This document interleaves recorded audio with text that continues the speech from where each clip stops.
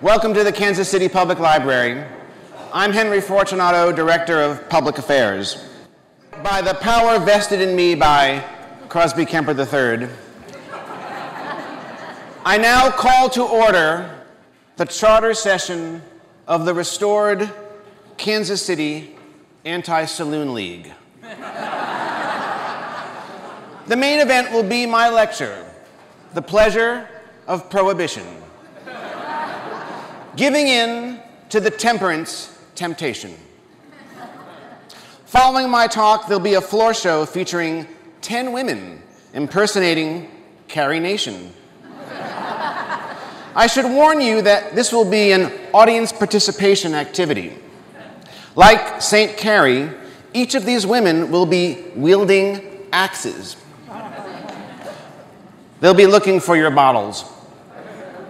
First aid stations are located throughout the building.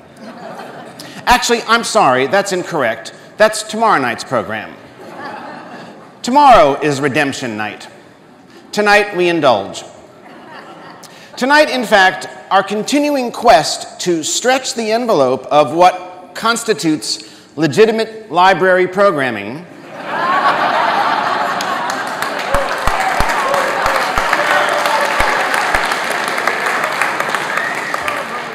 we've taken our most audacious step yet.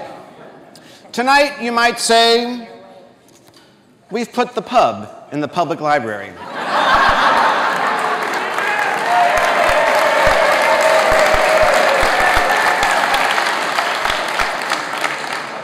And based on tonight's turnout, you're giving me great ideas for Oktoberfest. Truly, you can't, you can't get this kind of stuff anywhere else, right? Can you? Which is to say, if our incredibly clever stratagem of enticing you here in August with the promise of some boulevard beer is the first time you've come to the library, fill out a card. Get on our list. In the high season, we do this sort of thing two or three times a week. Usually with wine, but I'm open to other beverages. Which gets us to tonight's program. There are few contemporary entrepreneurs in Kansas City who are more iconic than John McDonald. In little more than 20 years, he's taken a dream and built an empire. As his sister, Carrie McDonald, who works here at the library, once told me, of John it was often said, he's too nice a guy to run a business. Well, here's proof that nice guys can and do finish first.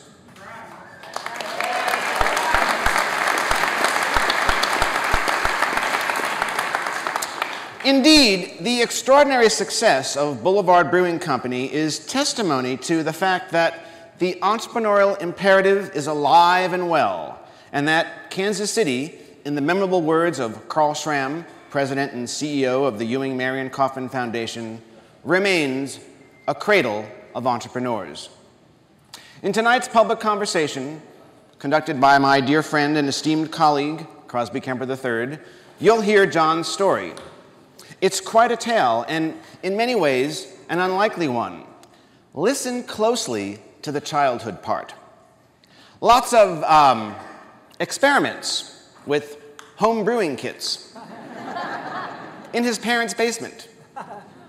Not to mention early adventures in salesmanship to thirsty teenagers at the drive in movie in Osborne, Kansas.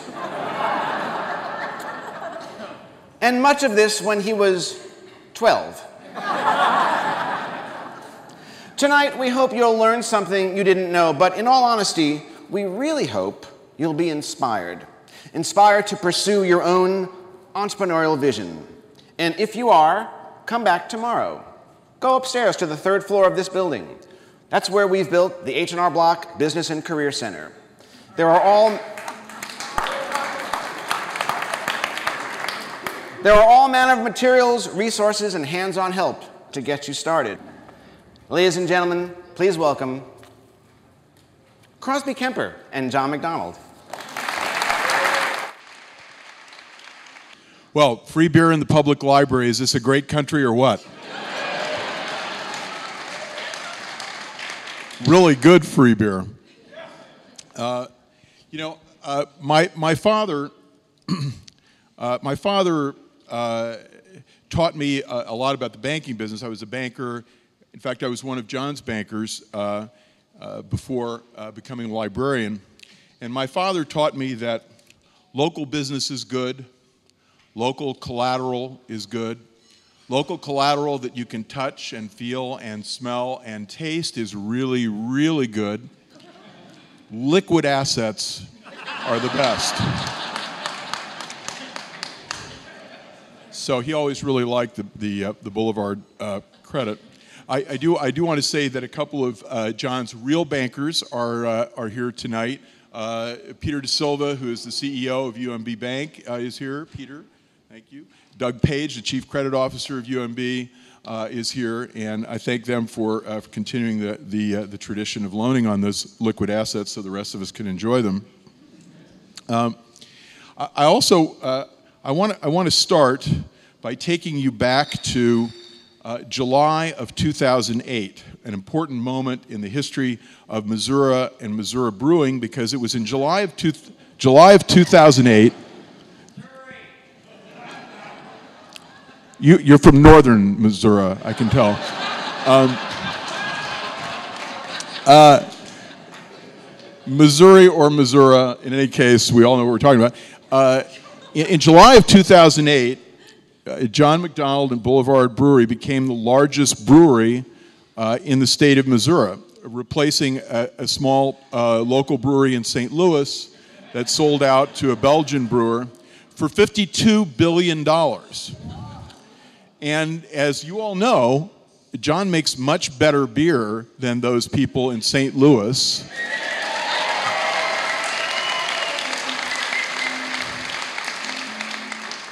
So you can imagine how much he's worth today. But, but it wasn't always that easy. And so I want to take you back, John. I want to take you back to that moment in 1989 or 1990 when you just started the brewery, were delivering in the, in the, in the back of your pickup truck kegs to local taverns, neighborhood taverns. And, and tell us the story of your delivery to the Twin City Tavern in 1989 when you might not have been able to imagine becoming the largest brewery in the state of Missouri. Well, uh, you know, it was a a year or so after we'd started the brewery, and we had draft beer only in Kansas City. And uh, we did have a, a delivery guy, but uh, he was always on task and hated to change his route. So uh, a lot of times I'd have to uh, take a keg of beer out if a bar or restaurant would uh, blow a keg. So I went to this Twin City Tavern, a guy named Mike Renner, and I think Mike's probably still around. He was used to own Mike's Tavern over on Troost. And Mike was a really a great bar owner. He taught me several things. One that one of the things that he always did is he paid cash. Actually, Kansas City is a uh, Missouri is a term state for alcohol, so and we were struggling. So if you want to know about cash flow, you know, cash when you deliver is a great thing. So. but he, he taught me that if you're a bar owner, two things you probably should do is always pay cash and if you were prone to alcoholism, you shouldn't drink. And, and I think Mike had quit drinking years and years before, and so he was a pretty smart guy. But anyway, it was about 11 o'clock in the morning, and there were three old guys sitting at the bar. And I went in, and, and of course, it was a, just a small three keg draft box, and he had Busch, only Busch on tap, and then he had our, I think, pale ale or our wheat beer. I don't remember which one. And so about 11 o'clock in the morning, these three old guys are in there and they're drinking their 12 ounce glasses with no foam on the beer. You know, they don't want to get cheated out of that half inch of, of foam, you know, which is a horrible thing. And so, you know, fill it to the top. And they were, they probably drank a keg a week between the three of them. And um, so anyway, Mike says to uh, these three guys, look, this young man has started this business just three or four blocks from here, and you really should help him out. and uh, you should at least try his beer. And you know, it's great beer. And so he pours them all three a glass of beer, pushes it across the bar to him. One guy wouldn't even drink it, he wouldn't even try it. And the other two guys tried it and then pushed the beer back across the bar and just went back to drinking Busch. And so I thought, oh my God, what have I done? You know, uh, I am not going to be able to pay the bank back or my investors. You know, this is going to be horrible. You know, this is horrible. And so I was already feeling pretty bad, but as I was going out the door, one of the guys tur- turns to me and he says, Young man, that is absolutely the worst beer I've ever had in my life. so, so I felt just horrible going out the door, but you know, years later, I went back to Twin City Tavern and we had two or three handles and sold a lot of beer there. And I thought, all three of those guys are dead. And, and you know, if, if they'd have just drank Boulevard beer, they might still be here. But no, I'm just kidding. No, can't make that kind of promise. That's illegal. So, so th- th- this is a great story about how to get ahead in the beer business. Sorry. But okay, so now now now we shift to the state of Kansas. Did I pronounce that correctly? Yeah. Um, uh, and, and, and what I want to know is how, do, how does Missouri's greatest brewer get started in the state of Kansas? Your, your, your background, as, as Henry pointed out, Carrie Nation is from Kansas. The Prohibition Party is still on the ballot in Kansas, you know. And, and uh, so your family background, uh, where, you know, where you grew up in a small town. Well, I grew up in a small town in uh, north central Kansas called Osborne. My father moved there as an engineer for the highway department. And uh, that's where I grew up. And, you know, in a small town of a couple thousand people in north central Kansas, there wasn't a lot to do, and beer drinking became something we all did. And, uh, and, and fr- from the early age that Henry mentioned, like 12, you were drinking? Is this true? Probably. My father uh, actually made home brew. Statute of limitations is run and, out, don't worry the beer was so bad that he didn't personally drink it. It was more in our basement as a conversation piece. So, but we did. There, there are rumors you know, there were explosions in your basement from time to time. In fact, um, but you know, a little tomato juice. They call it red beers. It's a popular thing in Kansas. Sounds horrible to a lot of people, but if you grew up in north central Kansas, it was a popular thing in the tavern. So, so we made a little beer, and I learned how to make beer there. And then when we were, I think, in junior high, we um, started making beer. And a friend of mine's, I don't think my parents would let me do this, but this friend of mine who came from a big Catholic family, uh, we were raising pigeons and quail and stuff in a pigeon pen, but we also were making beer in his basement. And we would take it out to the drive in on the weekends and sell it to the high school kids. And uh, sales were so good at one point that we decided we ran out of beer that was finished. So we went back to the basement and bottled up a bunch of green, really green fermenting beer, and sold it to the uh, high school kids. And then we had to lay low for a couple weeks uh, until their stomachs got better, I think, and they'd forgotten. So, see, yeah, anyway. the the, uh, the, great the great epidemic in Osborne that I think is known. Yeah. So, eh, so you, you, you go, and, and this may also help ex- explain how you became a, a, brewer. You go to KU. Uh, and, uh, eh, fourth or fifth generation uh, uh, Jayhawk, right? Yes. But your father, who's an engineer, might have been a little uh, uh, skeptical about your, your career path at that point because you were an art student.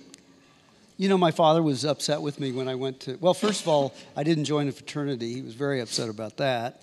And then um, I became an art student, and he was really upset about that. And, but, you know, it was something I was interested in, and, you know, I wasn't a good student, so it was uh, a way to compensate for my inabilities in other areas, you know. But you were probably a wine drinker at, uh, if you were an art student, right? I mean, no, you know, wine. I drank a little wine, but uh, you know, actually, one of the things, and I know this is a touchy subject in America today, but you know, I drank enough beer when I was young that by the time I got to college, I really, you know, could have a beer once in a while, and and that was which stay awake through exams, which helped me get through college. You know. Okay. So you're you're an art student with a taste for beer, uh, but you end, you ended up coming into Kansas City and working as a carpenter. You know, that's true. Uh, after I got out of college, I did spend a couple years in South America traveling around, which was a very formative time for me. And then came back, and then when I was out of money, I came back to Kansas City and uh, became a carpenter. You know, really basic stuff in the beginning, building decks and painting houses and that kind of thing. And, and, and, so you're, you're, you're, you're doing this carpentry business and fixing up houses and whatnot. What's the inspiration? What's the moment of inspiration to become a brewer?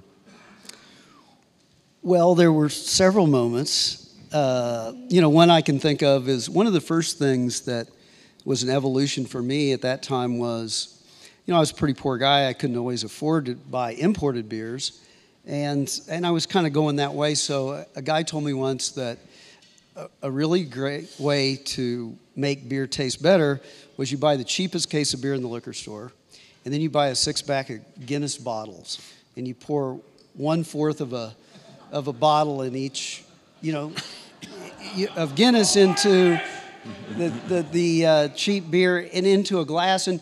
And you know that's one of the things that, uh, as a small brewer, is a big challenge for us. We feel like through all the millions and millions of advertising dollars that have got us all to drink beer out of a bottle, you know, if you can just get people to drink beer out of a glass, that's a huge thing.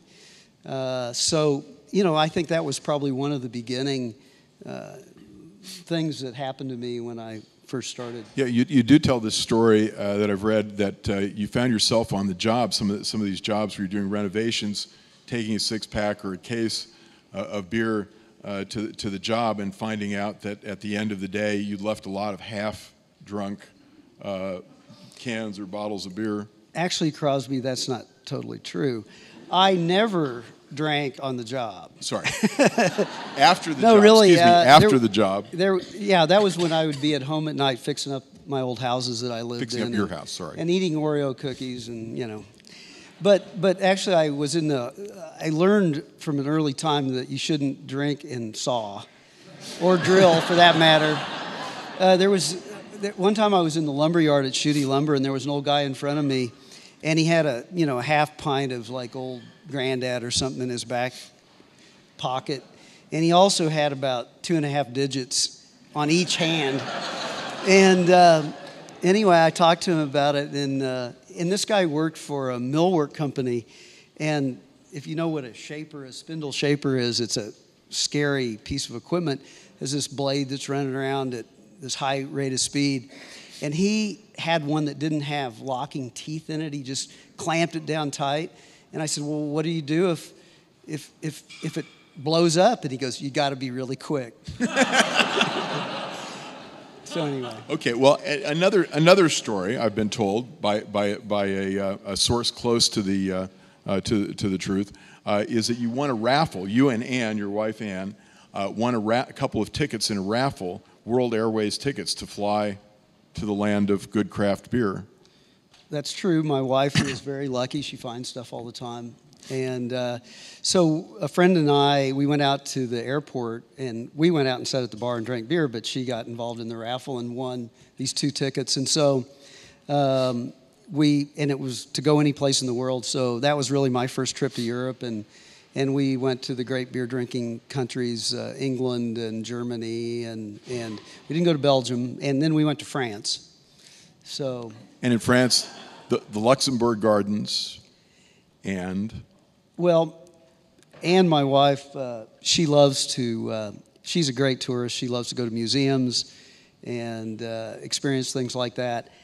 I'm good for maybe one museum a day, and then I want to go to the park or the bar and have a few drinks and see that side of life. And so I would go, a lot of times there was a little Belgian beer bar near Luxembourg Gardens. It's still there today, actually. The last time I was in France, it was still there and I went there, and that's one of the things that really blew me away as to the, uh, you know, the diversity of beer from the little country of Belgium. You know, uh, a country half the size of the state of Kansas that at that time probably there were over 100 breweries producing four or 500 very distinctly different beers. And so, you know, it's hard to drink that many beers in a week or two in Paris, but You know, I tried. You forced yourself. Yeah, I forced myself. Research, research. Does the librarian's heart good to hear this dedication to research? And, and in England, the English bitters and the pub life. It's also, it's kind of a, there's a different social aspect to the way they drink in pubs and in the cafes than, than maybe American bars, or at least American bars, say, in the, in the 70s and 80s.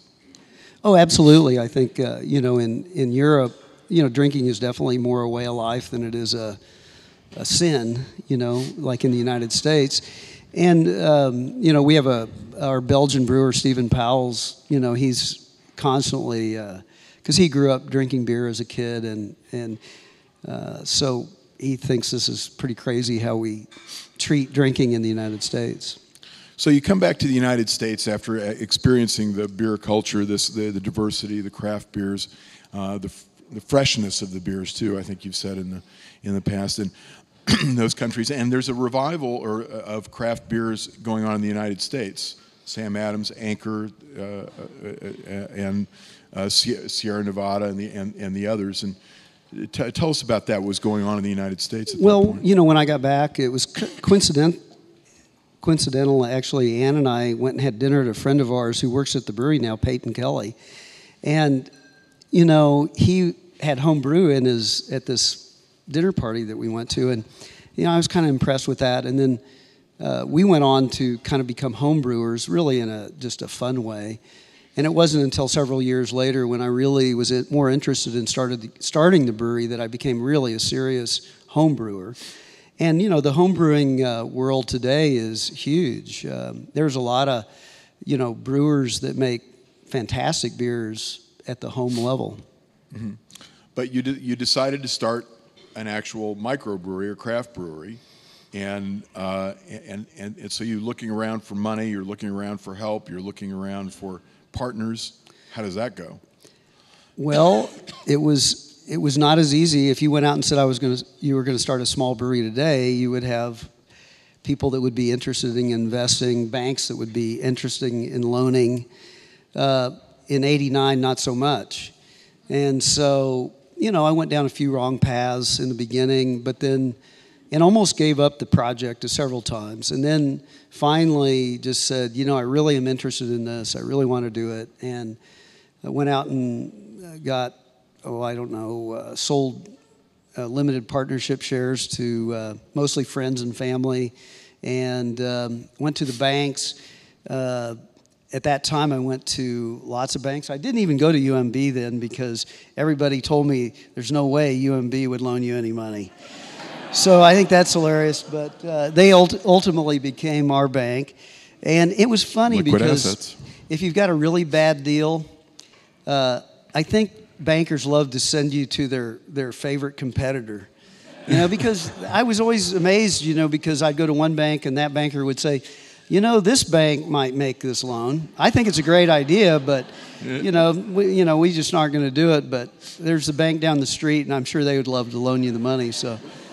Well, know. one, one of the stories that uh, that I've been told, uh, your sister your sister told me this that uh, you, you you weren't going to take no for an answer. And in fact, your partner in the uh, carpentry business, uh, one of your partners, Dan Harden, is that right? Yeah. Uh, once once said that he wanted to hit you on the head to stop you you, are just going all the time. You wouldn't you wouldn't stop. So that that must be you must have you must have uh, convinced some people to put some money into the into the business. And so you started up, and and you're you're going and and you what's the, the the key to the to, to making the startup go? You started selling out of the back of your truck to local taverns and bars.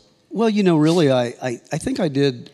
You know, one of the good things about ba- the banks not giving me any money that took about six months so going in and talking to all these bankers, I really had polished my spiel. You know, so by the, you know, so I really, and, and they would say things like, well, how do you know that the uh, bars will actually buy beer from you? And they'd say, why don't you go do a study and, and ask them? So, you know, I'd gone out and done a lot of those kinds of things, only to find out that only a few of the bars that actually said they would buy the beer from us actually did in the beginning. And the same thing with investors, of course. Uh, you know, one thing if you've ever gone out and tries to, tried to raise money from people, uh, it's not easy. And it's really not easy to get the first one to give you the money because nobody wants to be the idiot that was the first person to invest in some dumb thing. And I remember after a couple of weeks of having my business plan together and going out and hitting the street, um, I came back very uh, dejected. And my wife, Ann, actually uh, said, Honey, I'll buy a half a share. And so, so, you know, she bought a half a share from me, which gave me a, uh, a little optimism, even though, you know, it's hard to say, well, uh, yeah, I've sold a half a share. And then it's like, well, who bought it? Uh, well, because they want to hear somebody like, you know, some some smart investor like Warren Buffett or something, and you, well, my girlfriend, you know. So anyway, that was kind of tough, but it was it was a real interesting uh, time raising money. Well, and, and, you know, you hit a wave of, of, of, of, craft beers, and, and, and, and talk for a second about the difference between what you were doing and what Anheuser Busch was doing and Miller was doing, and you know, which is really the secret of your success. You, you made beer in a different way. Well, I think, you know, and I think this be, has become more and more evident to me um, now than then. I think then I really didn't know what I was doing, but I did know that, you know, I liked the idea of, you know, handmade, local, regional, all those things were something I was interested in, even though I didn't sell I didn't know that to say it then. And I think, though, as I've seen uh, the success of not just us, but other small breweries across the country, um, it makes me realize how important it is, you know, for us here in America. You know, this drive that we've really been on of globalization that really goes back to, you know, my parents' generation you know, the end game of that is just a few giant players that don't really care about anything but returning money to the stockholders of their giant companies. And that probably isn't a good thing for any of us long term. And so I think it's showing itself a little bit in the beer business today, but we need to figure out a way to make that happen, I think, in other areas of commerce in the United States.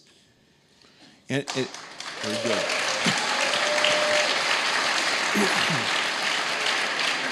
you know, you, you said to me at one point, I thought it was a, it was a great line. There was a shift in the in the view of the brewers. I mean, I, there's a great tradition in Anheuser Busch for a long time of, of them seeing themselves as brewers. But over time, as they got bigger and they fooled with the formula to get the right formula, the the right kind of pilsner light beer formula for for mass American taste. They, sh- they shifted, you said, from being brewers to being chemists. Right. And I think that, that, that that's a great, a great line. And, and so you, you, defeating the expectations of the Twin City Tavern guys, you, you've, you've grown uh, over time to be, to be one of the largest brewers in the country. And, uh, but you've had some, some interesting bumps along the way. The 2004 uh, beer uh, uh, uh, scare where you, you almost you ran out of beer or you were about to run out of beer in 2004 well frankly we're about ready to run out of beer it seems like every six months. So you know Hence we're almost need for future we're almost used to it but uh, yeah you know it's uh, been a juggling act of you know adding you know people and expertise and you know keeping the quality of the beer. And and you know as a you know if you're not just a big mass brewer. And you know, they are very smart people and do an amazing job. It's hard to take any, you know, it's hard to take something away from a company that can sell, uh, uh, what is it, 400 million barrels of beer. That's, that's what, you know, the AB InBev Alliance does today. So that's an amazing feat. But it is hard to grow a company if you want to keep your quality up. And, you know, it's, it's just personnel and, and uh, and the materials and how you do it. And you have to really kind of approach things with a quality mind all the time and, and get every one of your employees to do the same. Well, if you're the if you're the last beer on the list in the in the in the tavern, the last one they bought, and then you run out, you're probably not going to be invited back. And and then you've also got the problem. Uh, a lot of the distributorships in the, in the United States were in fact controlled by AB or the other the other brewers, there's a moment when the local distributor that you were using was uh, was going to be sold. Uh, so how do, how do you survive in, in being being the smallest guy in an, in an industry that has really huge competitors?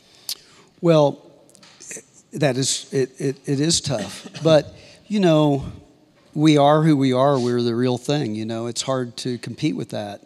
Uh, and it's interesting because you know, really, the beer revolution is happening in America, and it's happening actually because you know, there still today, after Prohibition, they put in the law that this three tier system that we have today, which uh, allows for independent beer distributors. So even though they might be a Bud or uh, Miller or Coors distributor, they are technically independent uh, businesses. Technically, but an amazing number of them have Busch last names or are related to the Busch yeah, family. no, it's it's it's daunting, but um, that's one of the reasons that this uh, beer revolution that's going on now in America is happening is we have access to market. And if you went to Belgium or Germany or France today, you wouldn't have that same access. You would have to put in your own distribution infrastructure. And that's one of the reasons that America is so rife with uh, fantastic beer today. Right, right, right, right. Um, and so you, you've expanded over time. How many states are you in now? You know, I think we're in parts of 18 or 19 states. And you've got a, a fairly substantial market share in Kansas City. You're you know, we do. Uh, I think 35 plus percent of our business is right here in Kansas City. We think that's our most. Thank you. So I need to say thank you to all of you for uh, supporting us. It really helps, and I think it's the most important part of our business. And we, you know, as the business has developed, we we still think this is the most important part of our business. And then we look regionally, and then we look in the right. And you, you talked uh, talked to me about three plans. You've got three sort of concentric circles of, of development. You've got in, in some places like Omaha and, and in St. Louis. I think you're doing doing well in, in the region and, and you, are able to continue to do that despite the competition not only now from uh, from the ABs and the, the Millers of the world, but, but some pretty stiff craft competition from some of your compadres in the craft beer market. Absolutely. I mean, you know, it's funny. Uh, the brewing industry is a very open industry when it comes to how we make the beer, and you know, we all get together and talk about. We we write articles and share information. So from the backside of the breweries, it's very congenial. But when it comes to selling beer on the street every day, it gets ugly sometimes. So, you know.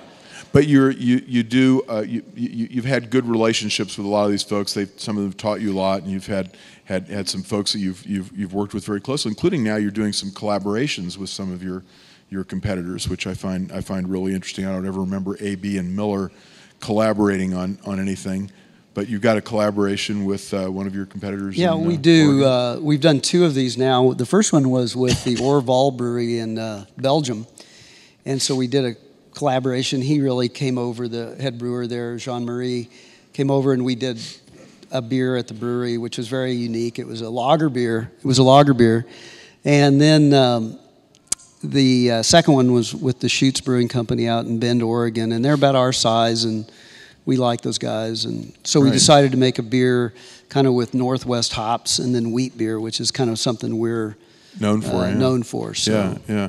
The Orval beer, the Belgian beer, was that one of the Belgian beers that you were drinking in the Lux in the, in the bar near the Luxembourg Gardens? No, you know, actually, that was a really interesting thing. We sort of let Jean Marie decide what he wanted to make. He's this kind of crazy, works for the monks, you know, and uh, but he's not a monk, and. Uh, but he wanted to make this really simple lager beer. And so we were kind of afraid that people wouldn't think it was so great, but people really thought it was a, a spectacular beer. And I thought so too. And it was so simple, it was such a simple recipe, which is what made it very, very interesting.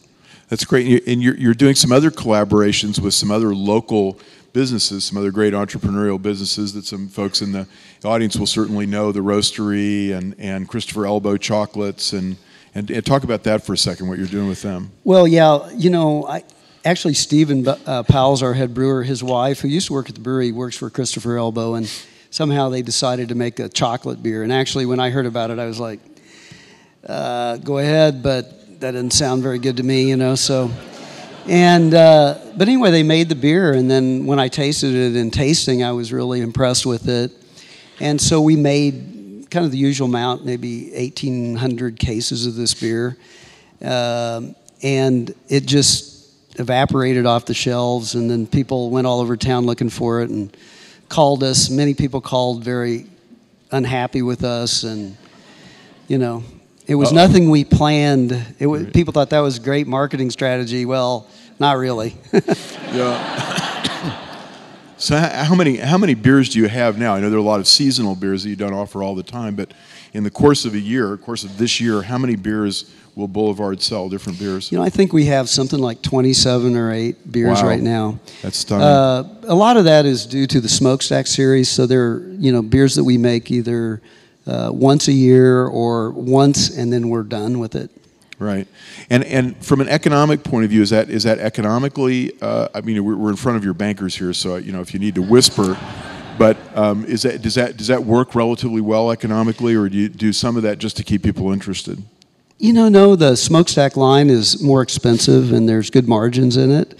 But it does take a lot of time. Some of those beers age for a year in wood barrels and that kind of thing. So there's a lot of, you know, cost in both materials and labor that we have. But um, you know, we uh, we need to stay in business, so Right. we try Well, to make and- we yeah, try to make money. Is that the right answer uh, for the Yeah, bankers? it's good. Good. Ba- bankers are still smiling. It's good. Yeah. Okay. Good. Didn't want to And- say the wrong thing. you Yeah, know. yeah, yeah. No, we said we, we were careful there. Yeah. Um, y y one another thing that you've done that I think is is, is remarkable, and some people here will, will know about it. But you've, you've given back to the community in a lot of ways. I mean, one one way is simply in the place where you started, and really where you started in your carpentry business, in your father's building on Southwest Boulevard. You've stayed right there, and you've built you've built a very big business and employed a lot of people on the west side of Kansas City. Uh,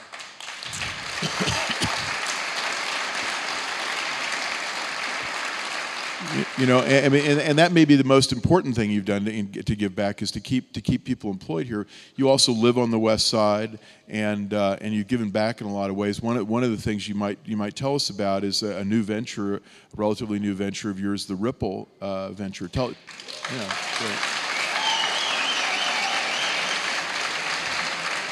Well, you know, that kind of came out. Actually, um, uh, my plant engineer, a guy named Mike Utz, I don't think Mike's here today, but uh, he, uh, that was our idea. Actually, it started out, we thought we would make our own glass beer bottles in Kansas City. And we spent the first couple years researching that just to realize that. Um, well, I don't think the bank was going to loan us $100 million to start a, a glass, Glass plant. They're plant. fairly capital intensive, but we learned a lot about glass and why it makes sense to recycle glass. And I've always been a big recycler. And so, you know, we just started kind of connecting the dots. We said there were, we found out that there were, there was um, a company here in Kansas City, Owens Corning, that would gladly buy all the glass we could all the glass that we use in Kansas City, all the consumer glass that we have every day in our homes, they would gladly take this material. And uh, so, and then across the street from them is Certainteed, and they would take just as much. So we thought, well, we've got a local customer, what's missing? So the missing part was a processing facility. And um, so we built, decided to build the processing facility, but what's unique about it is, is that we also are behind the collection piece of it. So um, that's the idea is to try to get people to, and we, you know, people have done a good job so far. I think we're up to probably 13%. We were probably only doing two or three percent before we started. In, in, in Kansas City in Kansas as a whole. City, and we hope to get that up to hopefully 100% someday. You Right. know, Bec- That's great.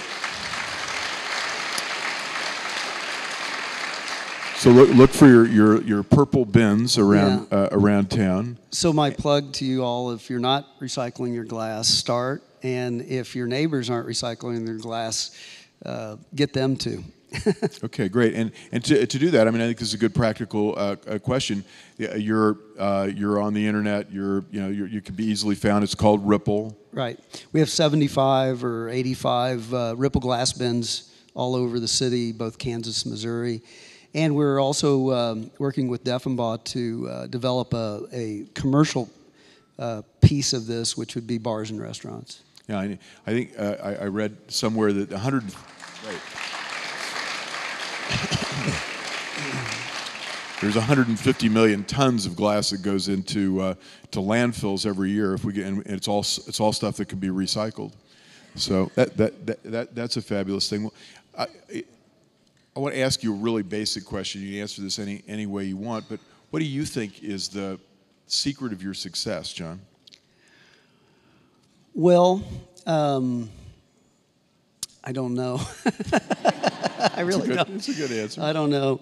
You know, I'm. I. I, I find myself. I think I'm a pretty practical guy. I'm uh, very. Pro, uh, you know, we did some personality test, or our sales guy did some years ago, and and I, you know, it was one of these. I don't know, psychological testing things, and I was definitely process oriented person. You know, and so I think that fits with going to art school. It fits with being a cabinet maker. It fits with starting a a business making a real commodity. So I think those things. And then, you know, I have to admit, my father, who I think was a great businessman, he uh, taught me a lot and was really a practical guy. And, and so I think it's really a lot of common sense kind of stuff that. Right. Well, obviously, there's a you know, anytime you see the, the, beautiful gleaming equipment at Boulevard Brewery, take the tour. If you've never taken the tour, it's fabulous. Um, you, you, there must be some part engineer in your in your soul, but there's also and a lot of imagination. I mean, anybody who can come up with single wide beer and then add double wide beer, uh, you know, is, is a guy with some imagination.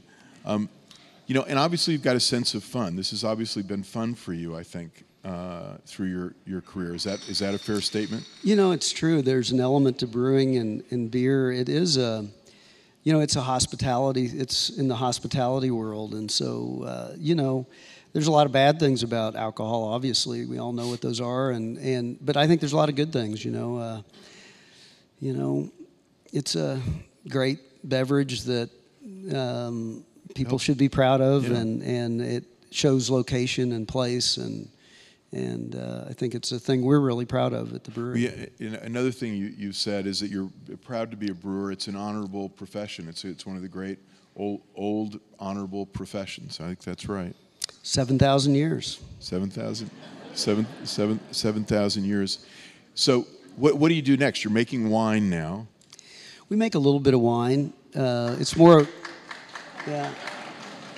You know, I like wine, but it's also a hobby, more of a hobby than it is a, you know, something we're trying to make money off of. And uh, it is also part of our retail liquor licensing that we have at the uh, at the brewery. So there's a little bit of that involved, but but it's been an interesting project, and yeah, it's been fun. Great. Well, I, I want to, uh, to turn this over to, if it's okay with you, to the audience to ask uh, a few questions. But I, but I do want to, I, I, do want to finish this this part by uh, saying, you know, like like the, the, the name of one of your more recent beers, Dark Truth. Uh, it's it, it, thank you. Yeah, uh, it, it, it, it's great. It's great to hear your story because I think it, it is. It's a, not only an honorable profession, but you've done so much for the for the city, and you've made an awful lot of the rest of us happy uh, and have fun. so I want to th- I want to thank you, John McDonald, for what you've done for. Well, Kansas thank you, City. Crosby. Thanks for having me. Yeah, are, are, you up for a few questions from sure, the audience? Absolutely. Okay, uh, I, will try and repeat the, the question. I don't think we've got any microphones, so good. If you had to do it over again, would you do it? Um, probably, yeah, I think so. You know, yeah, I had to think about it. I mean, it, you know, it was uh, pretty scary times back in the day, and you know, it's still a challenge, you know. But uh, yeah, it's uh, yeah, it's been quite rewarding. Maybe a question over here. The Tank 7 story. That's one of the new beers. I can tell you the Tank 7 story.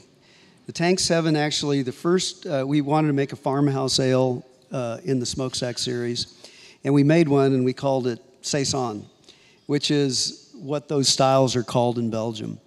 But people in America can't say Saison. I can't say it. I mean, you feel weird, like, give me a Saison. What is it? You know, nobody knows.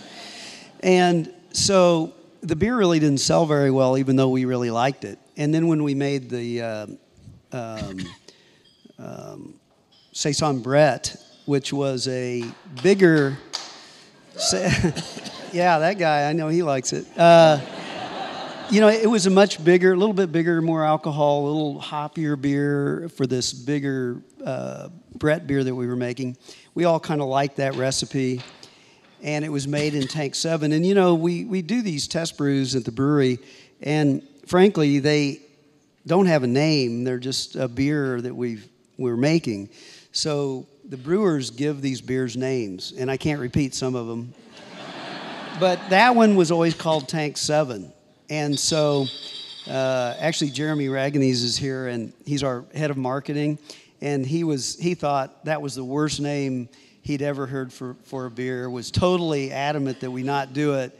But I think the brewers were so uh, persistent, they just said, you got to name it Tank Seven, and we did. And I think Jeremy thinks it's probably a good name now because it sells really well. Now, your your sister just snuck up behind me, and and as I think Henry mentioned, John's sister Carrie is is a, is one of the world's great librarians.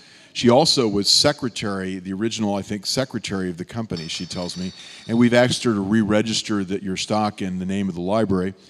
Um, but but she she said I should ask you uh, this to tell the story of Bob's 47. You know that's a good story. Uh, actually, when I first started the brewery, I had a consultant out of Seattle named Charlie McElevey who was uh, uh really helped us. He was a German trained brewer, and um, but uh, four or five months after I started, this guy named Boots. I don't know. He had a restaurant called Boots and Coats, and he called me and he said I have this old friend, and he used to be a brewer at the Muehlebach Brewery. He'd like to come down and see your brewery, so he brought brought him down. And you know, Bob lived in a rest home then. He his wife had died some years before. He had two artificial. He had uh, was a bad diabetic. He also drank a case of beer a day. Told me for his entire adult life, so that might have been part of his problem. Um, but he walked on two um, canes. But he was an incredibly practical brewer that had been in the Muehlebach Brewery since he was 17 years old and just had this wealth of knowledge. And so he would come down to the brewery uh, once a week. Usually, he'd take a, either a friend would bring him or he'd take a taxi. And after we were done working, we'd sit around and drink beer with Bob, and he'd tell us all these great stories about working in these old breweries back in the, you know, 40s and 50s and 60s. And um, and he would sometimes he was an excellent cook and he made great head cheese. So he would bring down head cheese and we would drink eat head cheese and drink beer. And so uh, we came up with this we asked him one day the common question what was the best beer you ever had bob and he said well when i was going to brewing school in new york city with my wife back in 1947 we made this munchner style beer that was the best beer i ever had Of course, it was probably because he was in New York City and he was happy, and you know that's usually when your best beer is, is when you're really happy. Anyway, and um, so anyway, we wanted to name this. We made a beer uh, in the spirit of the beer Bob had made in in uh, 1947, and uh, we named it after him, which we thought he would be flattered. Uh, and I think he was really flattered, but he liked our pale ale best. so he always told me that. He goes, Yeah, it's okay, but I like the pale ale better. anyway.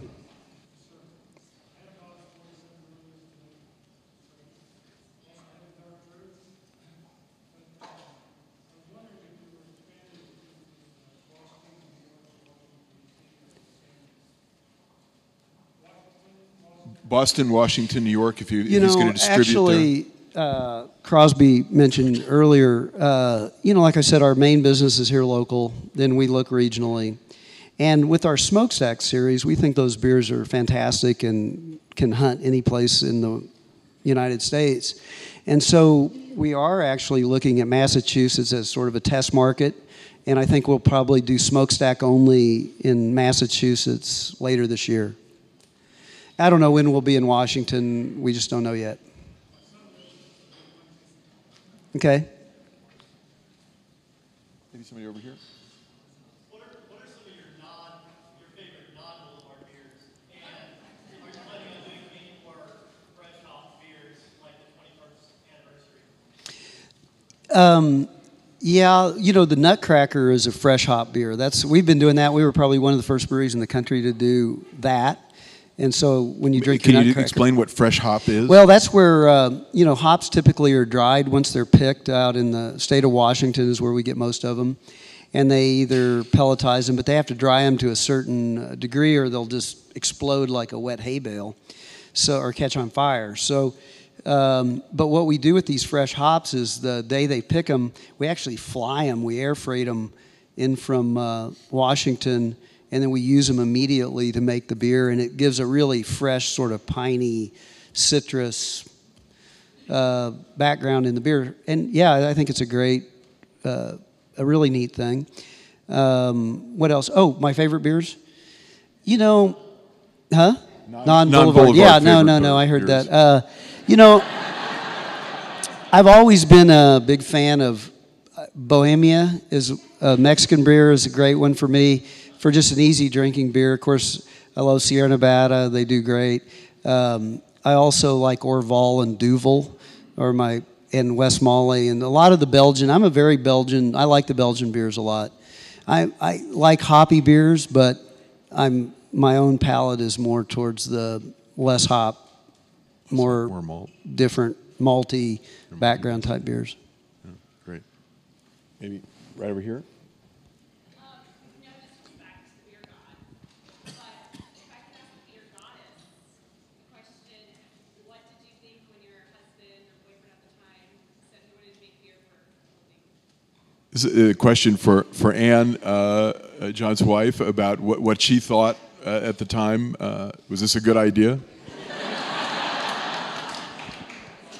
Okay. Is- Can you hear me? Um, you know, to tell you the truth, I didn't think that much about it. We were kind of poor, and it was an idea, and if we failed, we wouldn't be living any differently. so that's, I just, that was the way it was. You know, from the study of entrepreneurship, entrepreneurship point of view, that may be the single most profound thing said here tonight. Thanks, Ann. There's a guy.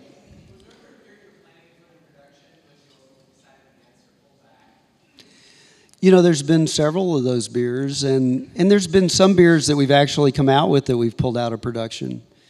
You know, it's interesting. Uh, I don't know if any of you remember a beer we made back in the 90s called Tenpenny. It was probably mid 90s. It was uh, my idea. I'll take all the uh, blame for it. It was, uh, you know, it was kind of when alcohol driving laws were, you know, that were really starting to get strict. And I really thought that there would be a market for very low alcohol beers with more flavor. And so we made this 10 penny, but back then when you told a beer consumer in Kansas City that the beer only had 2.7% alcohol, uh, they felt cheated and, and uh, cheated Yeah, out th- of those of us beer. who grew up on 3.2 beer, that's Yeah. not, not a good memory. But I think it's a, I think it's a style of beer that was just before its time because a lot of small breweries, you know, the the the trend in brewing for small breweries has been make these big, highly alcoholic beers, you know, which really have a place. I mean, I I, I like those beers, but you know, if you're going to go out, um, you know, and be with your friends, you don't want to be stumbling around and you know not get the girl at the end of the night, you know, so you know, really, I think moderate alcohol beers or lower alcohol beers are a really smart thing that people need to look at.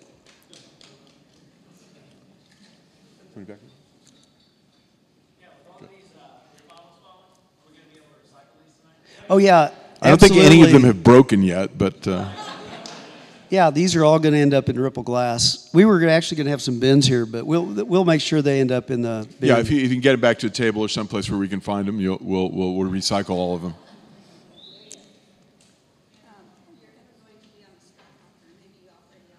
Are you ever going to go public, John? Are you going to be, be, be available on the stock market? You know, I've learned you should never say never about any really anything, and uh, but really, I don't see that for us. I mean, it's uh, definitely not something I see in the near future, and um, you know, there there's some breweries that did that back in the mid '90s, and all of them to have had trouble. So, you know, it's just something I don't think we need. And as long as we have a friendly bank, you know, that's all we need. Right, right, right. Is the, what, what's the best market in the country for craft beers? Is it Seattle or Denver? Or? You know, the highest per capita consumption of craft beer is the Northwest, which is about 32% of all beer consumed is craft beer. So, and, versus, and versus about six or eight percent in Kansas I think City? probably six or eight percent here. More than that, probably nine or ten actually now. And um, I, yeah, I do. And, and really, at the end of the day, um, there's only so much beer that is going to be consumed. And right now, the big, the big two, which are you know ABI and South African breweries and Miller Brewing Company, Coors, they have probably 85 share of our market in the United States, and then imports have another seven or eight, and we have six or seven percent. So that's how it shakes out. And really, I think to you know, it's a great thing if you think about the job creation. Um, created by small local breweries it's, it's enormous you know the fact that we are somewhat inefficient and i kind of touched on this earlier but you know it doesn't take a rocket scientist to figure out that you know if you're a big big giant company the way you cut costs is you uh, cut costs. And how do you cut costs? You get rid of people and you make things more efficient. And it's a great idea. And in fact our brewery we we try to do that. But if you look at it in a real simplistic way, at the end of the day, if a guy doesn't have a job, he can't buy a case of beer, and ultimately you're out of business. So, you know, I, I th- and I think we're kind of going that way, and we're seeing some of the effects of that in America today. And so, and I don't know how to do it, but like I said, I think we start, we need to start connecting the local dots and figuring out how to, you know, get keep business in Kansas City, start new businesses in Kansas City and and create jobs because we want people to be able to afford a case of Boulevard beer. So great. One of the very first investments you made, I think, if I've got this right, tell me, uh, is it's some Bavar- Bavarian uh, beer making equipment. I mean, you bought some stuff in Europe that you brought over to to start the brewery. Yeah, the first brew house we I think we paid thirty five thousand dollars for it. It's still in the brewery. It's amazing piece, and still we use it today. So you know, it was a good investment. But um, yeah, it's you know, it's it was hard back in the day, but uh, you know, I've had great help, and and frankly, uh, I shouldn't put a plug. I'm going to put a plug in for UMB. They've been great partners. Uh, you know, and and really, uh, a good bank is a good advisor. You know, they they say. Uh, well, maybe you ought to think about that, and that, that's not a bad thing, you know. So, uh, always getting your putting your hand out and getting it filled sometimes isn't the best thing. So, yeah.